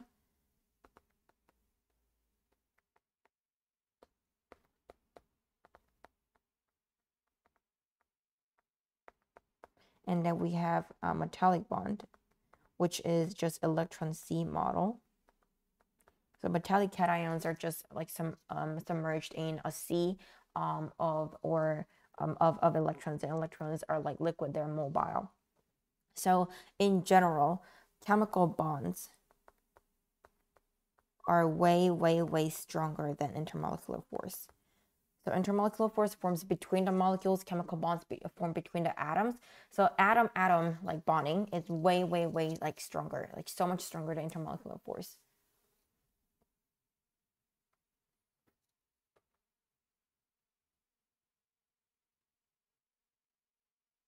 What is negative MCAT is equal to MCAT?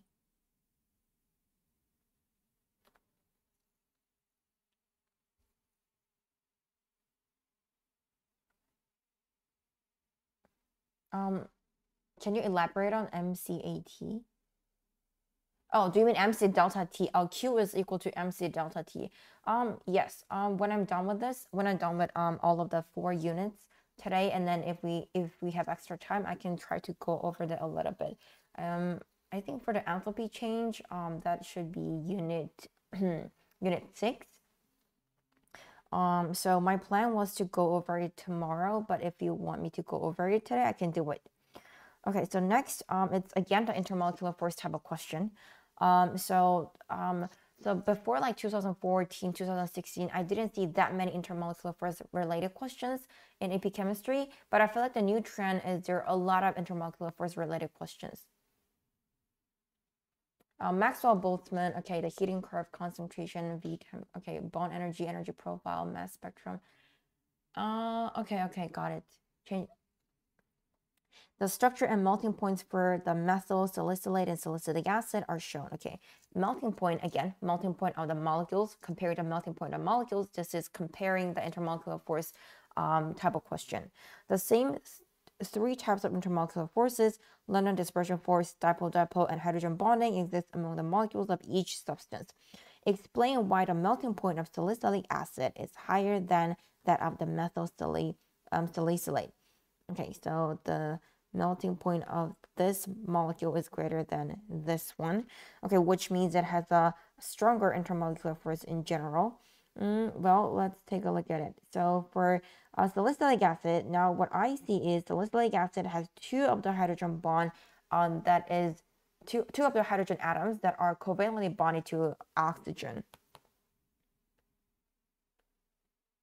So what I mean by that is it means um, the salicylic acid can form more of the hydrogen bond with other molecules. On the other hand, for the methyl salicylate, it has only one hydrogen atom bonded to an oxygen. So even though it has a lot more hydrogen here, but these hydrogen these hydrogen atoms are covalently bonded to carbon, which is um, which is not electronegative, which means carbon hydrogen bond is pretty much nonpolar. So they share the electrons equally. The hydrogen does not carry the partial positive charge. So these hydrogen are not going to form the hydrogen bond. Only this hydrogen forms the hydrogen bond um, with other molecules. So in general, or in conclusion, salicylic acid have twice as much um, hydrogen bond um, compared to um, methyl salicylate.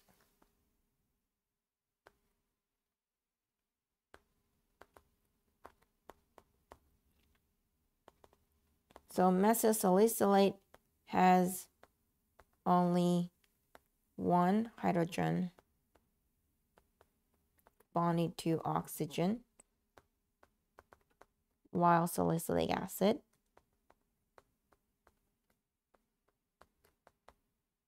two hydrogen atoms bonded to the oxygen. So more hydrogen bonding forms um, within the salicylic acid molecules.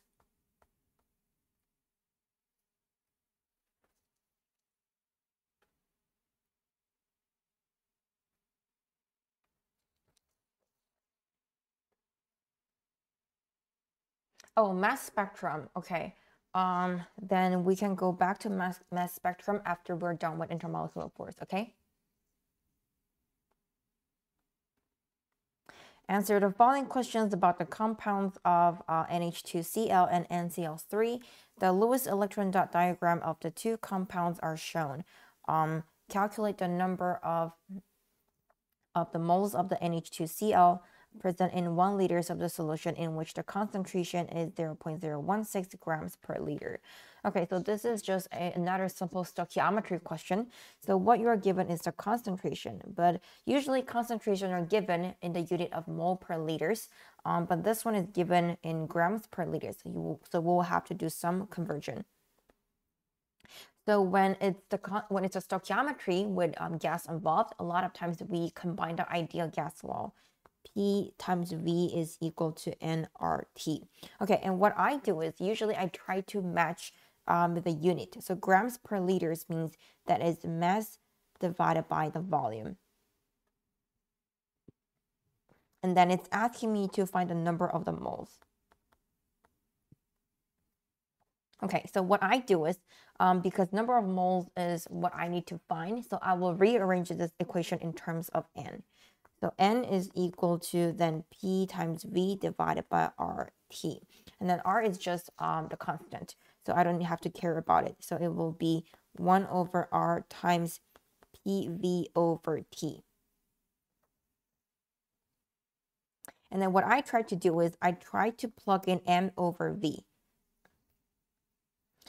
And then another given information is the molar mass. Okay, molar mass is written in terms of the capital letter M. And what is the and what is the conversion formula between the mass, molar mass, and then the number of the moles? Mass is equal to number of the moles multiplied by um, the molar mass m. APUSH teachers, AP, CSP, no. Um, I only do math and science, but um, I have a friend who majored in history. um, in college, but I don't think she does any of the videos. She does like private tutoring, like one-to-one tutoring.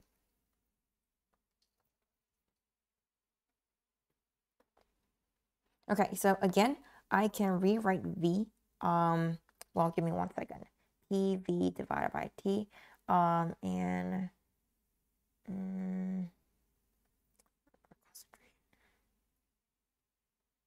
Oh, sorry, never mind. I did this question wrong. So it's not as complicated. Um, we don't have to use the ideal gas law. So it's a simple conversion between the number of moles, the moles, molar mass, and then the mass. So mass is equal to number of moles multiplied by the molar mass. Um, so for 0 0.0016 grams per liter, that is a, a mass divided by volume. So on the right side of the equation, um, it's number of moles multiplied by the molar mass divided by the volume. and I am given the volume, and then I know the molar mass, and then I am given the, the concentration. So now I can just plug in all the numbers. So 0 0.0016 grams per liter is equal to number of moles multiplied by the molar mass of 51.48 grams per mole divided by the volume of 1.0 liters. So number of moles is equal to 0 0.0016 over 51.48, which is 3.1 times 10 to the power of negative 5 moles.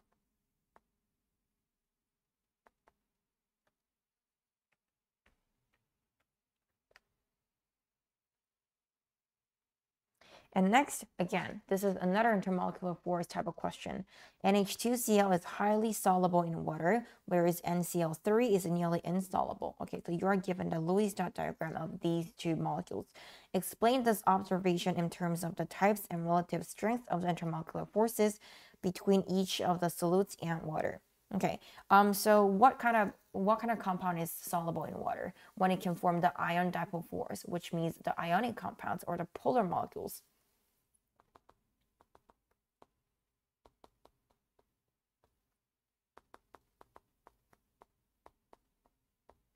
And this is because um, the different substances with similar types of intermolecular force tend to dissolve um, with each other or blending well with each other, while um, the substance with different types of intermolecular force does do not blend in well. So this explains exactly why oil and water do not dissolve well because water primarily it's the hydrogen bonding or the dipole-dipole interaction. Um, on the other hand, for the oil, like vegetable oils, they are long chunk like hydrocarbon chain, and in between these hydrocarbon chains, like London dispersion force is the only force that's working to hold them together. So that's why water and oil do not mix well. Um, and then based on the Lewis dot diagram, well, let's see. Mm. Oh, okay, okay. So NH2Cl. Um, so both of them, um, okay. So for the NH2Cl, it has a, mm, it has a hydrogen um, covalently bonded to the highly electronegative atom nitrogen. Um, so for these two hydrogen, they carry a partial positive charge because nitrogen is um, highly electronegative, which means when sharing the electrons, electrons are not shared equally, and then all the electrons or most of the electrons are pulled or pulled um, toward the nitrogen. So hydrogen is left with, left with very little electrons. It carries the partial positive charge. So this partial positive charge um, means that it can form the hydrogen bond with, with water molecule. That's why it's pretty much soluble in water. So NH2Cl forms hydrogen bonding.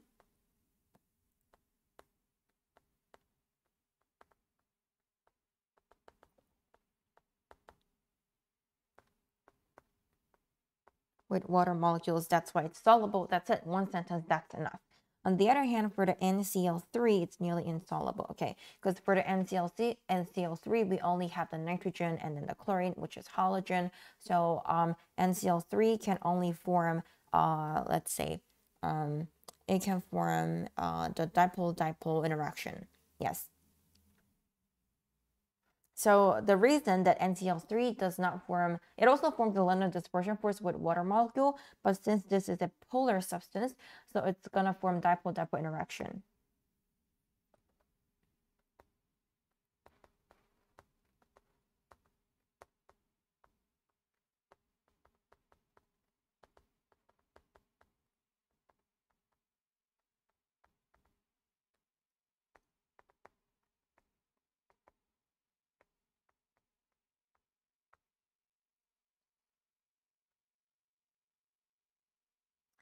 And the next question is regarding electrical conductivity. So um, this is what we usually learn in Unit 2 when it comes to chemical bonds. Um, so ionic solids, um, metallic solids, covalent solids, um, their electric electrical conductivity are all different. Um, so let's say for ionic compounds, when they are in the solid phase, they do not actually um, conduct electricity because the cations and anions are fixed in a position and they're not free to move.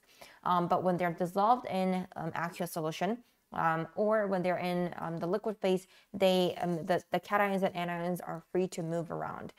so they do conduct electricity. And when it comes to metallic, metallic when it comes to the metals because of the electron sea model electrons are pretty much delocalized or they're not fixed in the position. Electrons are free to move so it does conduct electricity no matter if it's in the solid phase the liquid phase or the gaseous phase.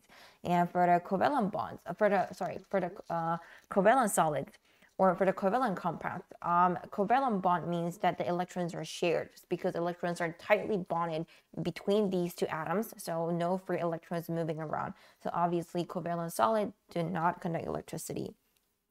So calcium sulfate and then the lead sulfate. The student has sample of both compounds, which are white powders. The student tested electrical conductivity of each solid and observed that neither solid conducts electricity because obviously both are ionic compounds. So calcium, um, and calcium usually forms the calcium 2 plus cation and sulfate SO4 2 minus. This is one of the most common type of the polyatomic ion. And for the lead sulfate, it's also lead 2 plus and then sulfate 2 minus. Describe the structure of the solids that account for their inability to conduct electricity. So in between cations and anions, they are going to form the strong ionic bonds.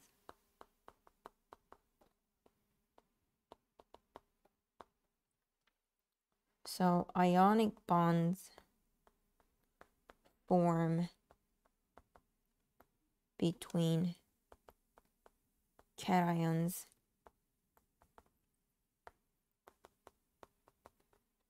and the anions.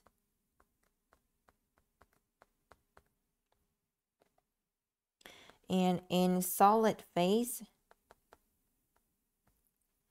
um, these ionic compounds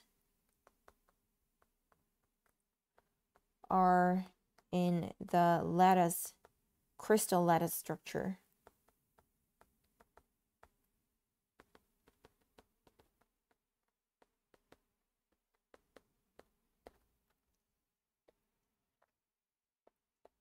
So ions are not free to move.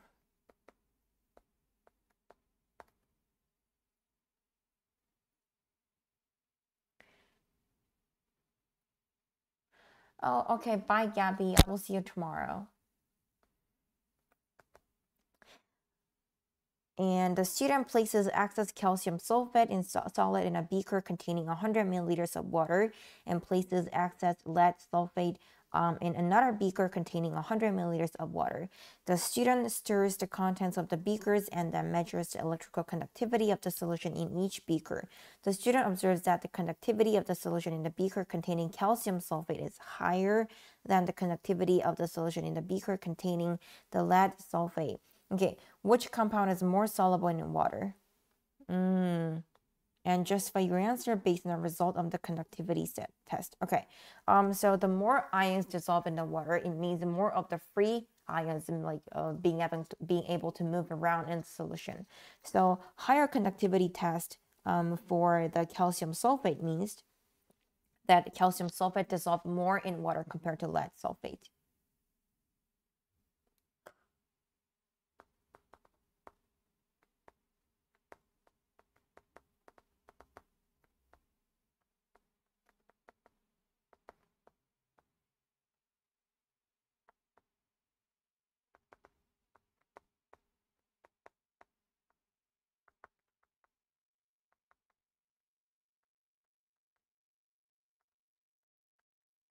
So calcium sulfate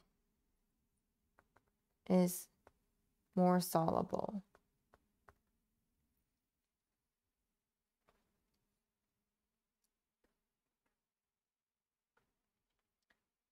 Oh, wait. So true, you asked me a question.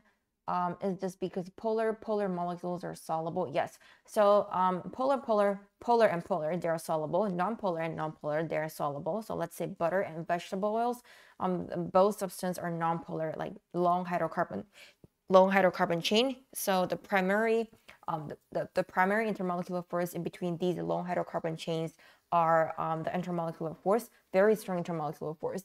Um, but uh, in between the water and ionic compounds, it's usually the ion dipole force. Um, in between the polar substance and water, um, then it is like hydrogen bonding or the very strong dipole-dipole interaction. So the same type of molecules or the same type of substance means the same type of intermolecular force um, forms between the particles.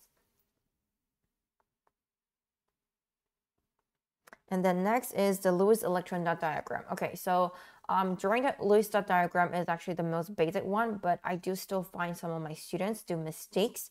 Um, so for HCOOH, so how I do it, there are two steps. First off, I will have to calculate all of the um, the number, the total number of the valence electrons in this molecule.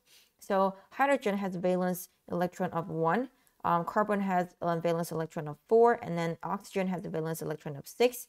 So it's going to be 1 plus 4 plus 6 plus 6 plus 1, which is um, 18 in total, which means for this molecule, you have only 18 electrons at most.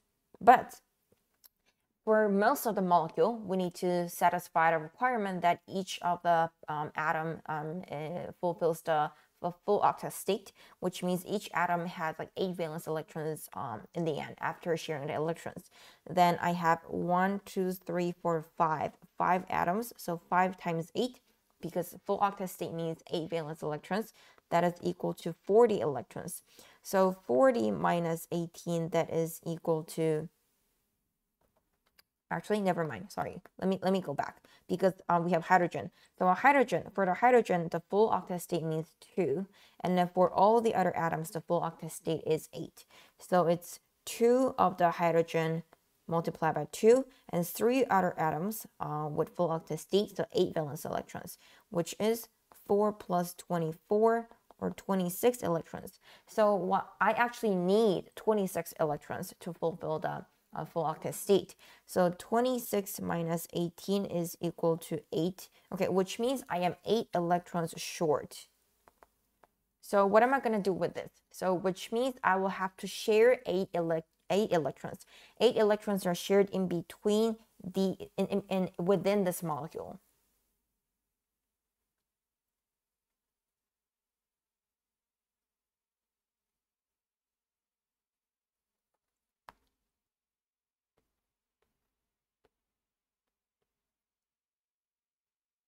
So eventually this is what I drew. 1, 2, 3, 4, 5, 6, 7, 8, 9, 10. Wait, I do have 10.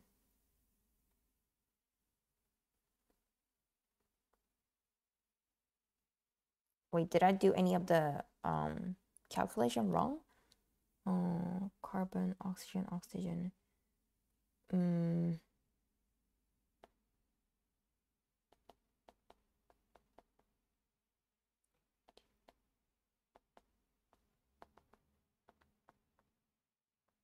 Oh, sorry, never mind. I did a calculation wrong.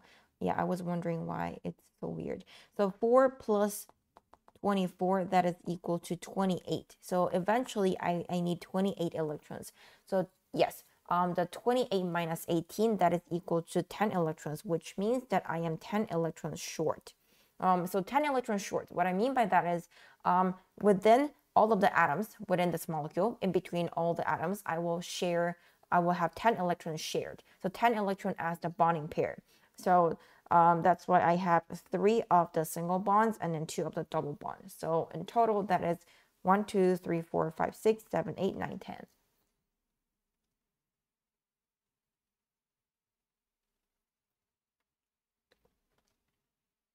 And then on top of that, I can just draw the lone pair electron. Let's say for the oxygen, um, to fulfill the full octet state, that's eight valence electrons. And now it has one, two, three, four, four bonding pairs. So eight minus four, that is four, which means it has four bond lone pair. One, two, three, four.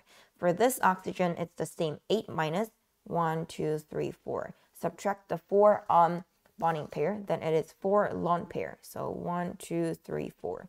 For the carbon, it's exactly the same. 8 minus the number of the uh, the bonding pair. 1, 2, 3, 4, 5, 6, 7, 8. 8 minus 8, that's 0, which means the carbon does not have does not have any of the lone pair.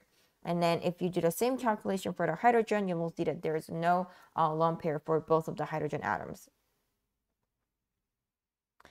And next, it's the net ionic equation question. Um, in aqueous solution, the compound H2 and NH2 reacts according to the equation above. Um, a 50 milliliter sample of uh, a 0.25 molar of N2, um, 0.25 molar of H2 and NH2 is combined with 50 milliliter sample of 0.25 HCOOH. Okay. Uh, write the balanced net ionic equation for the reaction that occurs between um, these two. Okay. Mm. Okay, so um, it's going to be H uh, 2 N N H 2 and HCOOH. Okay, but when it comes to net ionic equation, first off, I will have to write the balanced ionic equation. Then balanced ionic equation means I'm going to write every single reactant um, into in terms of the uh, of the dissociated ions. So for the H2 and an H2, obviously it dissociates into these two. So it's H2 and H3 plus in aqueous with hydroxide ions in aqueous. And for the HCOOH, it decomposes into HCOO minus in aqueous and then H plus in aqueous, the protons. Okay, and then um, obviously the hydroxide ion and then um, the protons combine together to form water molecule, H2O in liquid, and then H2 and NH3 plus, and then HCOO minus in aqueous. And then you're going to cancel out whatever um, that occurs on both sides of the um, equation. Um, and then eventually what's left over is the net ionic equation. Okay, so we have only 50 minutes left. Um, so if you guys have any question, you can just type it in the chat box. I will try to answer your question. We still have like um, a lot of questions to go over, um, but we can go over them tomorrow. We can just continue on tomorrow.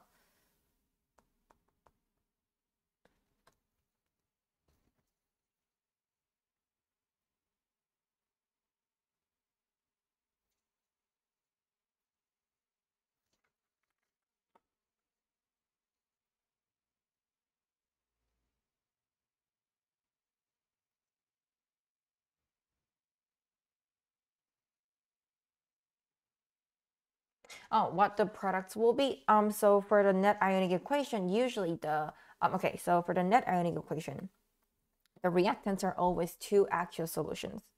It's always the aqueous solution um, plus another aqueous solution. So for the aqueous, I mean that they dissociate into like cations and anions and water or in aqueous solution.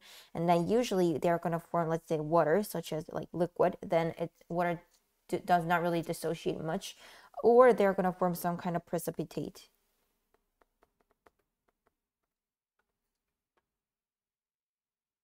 Um, but, but in AP chemistry, you're not required to memorize the, the solubility rule. So um, usually if it's precipitate, it will be like stated in the question.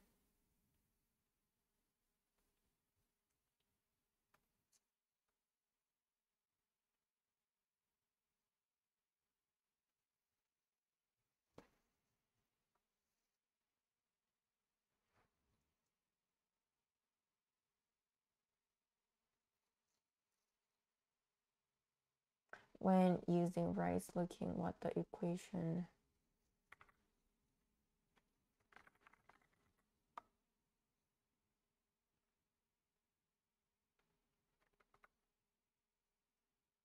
uh oh what the equation will make. Um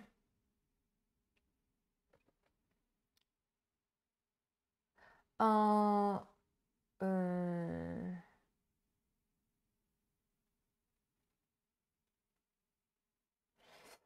Mm, okay, but for the ICE table, um, so you set up the ICE table only when you know what the product is, right?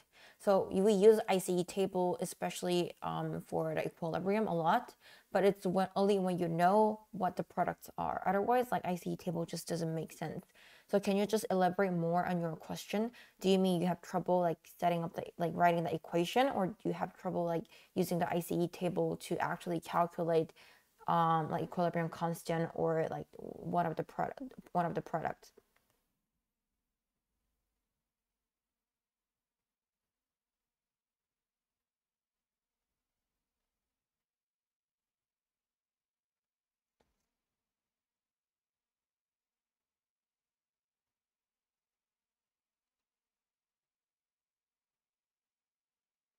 Yeah, writing the equation. Um, okay. um, then for um, is there any specific type of reaction that you struggle with, such as acid-base reaction, or like precipitation reaction or combustion reaction? Because like these are basically just the different types of the reaction that you learn during the whole course. It's not like you're just learning for a very specific unit, just everything. So for example, you just need to be you just need to be able to um, spot like different types, identify different types of reaction. So let's say for combustion reaction. So anything that reacts with oh acid base. Okay, so especially for the acid base reaction. Okay, um, so acid base is especially challenging. Um, so for the acid base, first off, you will have to define if this is weak acid, weak base, or strong acid, strong base. So for example, if it's strong acid reacting with strong base, for example, um, if it's hydrochloric acid reacting with sodium hydroxide, Okay, so then actually strong acid and strong base, they um, completely dissociate in aqueous solution. So they form protons and a chloride and sodium cation and then the hydroxide because they completely dissociate because they're strong acid. That's how we define strong acid and strong base. Um, any acid or base that completely dissociates in water and um, in water they're going to form H2O in liquid and then the sodium plus and then the chloride. And sodium and chloride okay they're just table salt. And okay imagine that you put the you dissolve the table table salt in water they just automatically dissolve. They do not form the precipitate because they are ionic compounds they have high solubility. Um, so um, they do not dissolve they remain they are dissociate they're they're they're the separate form of the sodium cations and chloride anions. So these two are called what we call by the spectator ions. They do not actually participate in the reaction. So for the net ionic equation i will have the protons reacting with hydroxide and produce the water water in liquid. So this is a typical strong acid reacting with strong base. And if it is strong acid with weak base.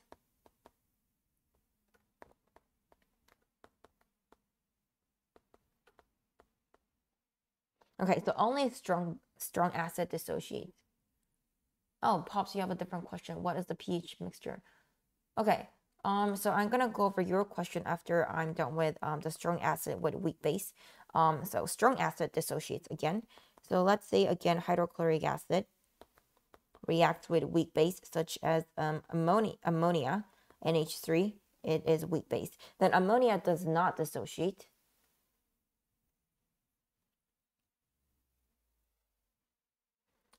So it's proton and chloride, they're dissociated, they're completely dissociated, and then NH3.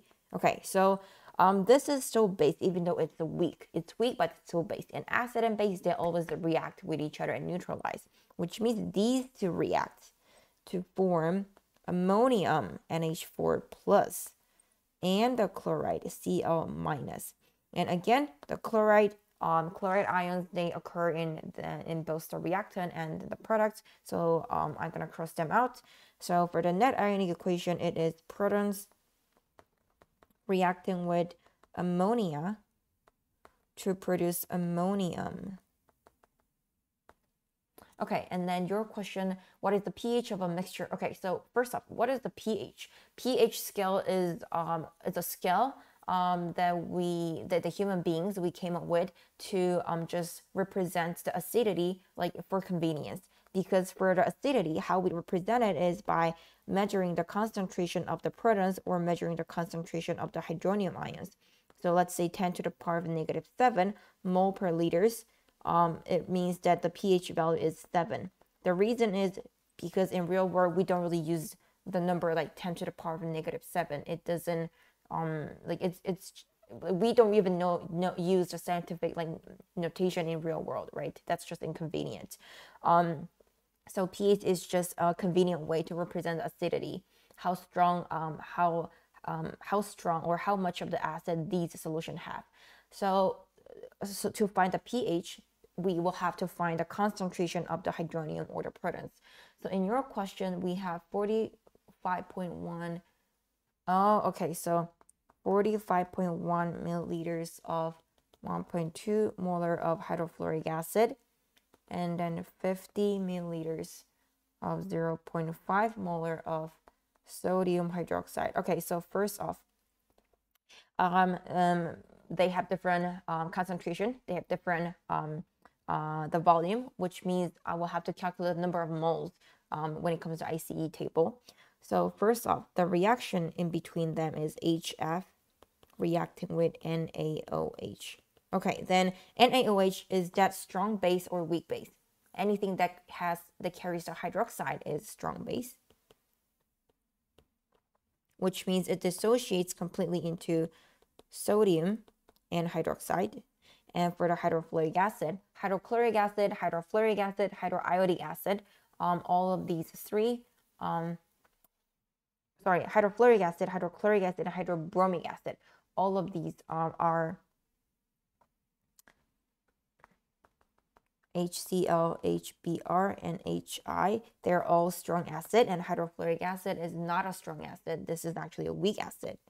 Okay, so this is a reaction between strong base and weak acid.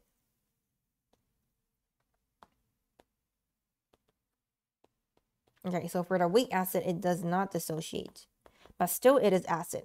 So eventually what's actually reacting is the acid and the base. So it's sodium cation and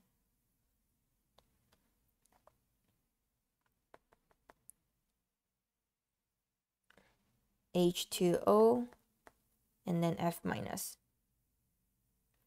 So sodiums, sodium ions are spectator ions um, they do not participate in the reaction. So for the net ionic equation, it is hydrofluoric acid reacting with hydroxide ions and it produces water and fluoride anions. And now I can use the ICE table. Okay, so for the hydrofluoric acid, um, we are going to use N is equal to M times V, um, molarity multiplied by the volume. So it's going to be 1.2 times 45.1, which is 54.12 millimole. Hydroxide, it's 50 times 0 0.5, 25 millimoles. Okay, um, so which one is the limiting reagent? Um, the reactant with a less amount. So hydroxide is the limiting reagent, so the amount of change is 25. So negative 25 for the reactants and positive 25 for um, the, the product. And water molecule, okay, so 25 milli, millimoles of water, that's basically nothing. So we don't actually have to consider that. Um, and in total, at equilibrium, or ICF, and final, I will have 29.12 millimoles of the hydrofluoric, zero of the hydroxide, and then 25 millimole of the fluoride. Okay, so in the in, in, in the eventually uh, when the reaction is completed, what I have in the reaction is hydrofluoric acid and the fluoride. So this is the buffer solution. Buffer solution has up the pair of the conjugate acid and base. And I don't have any of the hydroxide ions. So for the buffer, how we calculate the pH is pH is equal to pKa plus the log of the ratio um, concentration of the conjugate base divided by the concentration of the acid. Okay, so the thing is, we don't have to calculate the concentration in this question because these two are dissolved in the same aqueous solution, the same sample. So I just need to plug in the number of the moles. So it will be pKa value for the hydrochloric acid plus the log of the concentration uh, ratio, which is the mole ratio, so 25 over 29.12.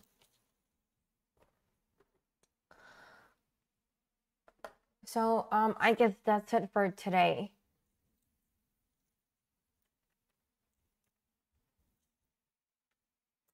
Um, okay, so if you guys don't have any other question, then I will wrap up and then um, I will I will hold another live stream session tomorrow. Um, I'm gonna take a look at my schedule and then it might it might be a little bit late, probably 8 p.m. or it might be 7 p.m. Um, I'm gonna check my schedule and post it on my YouTube channel.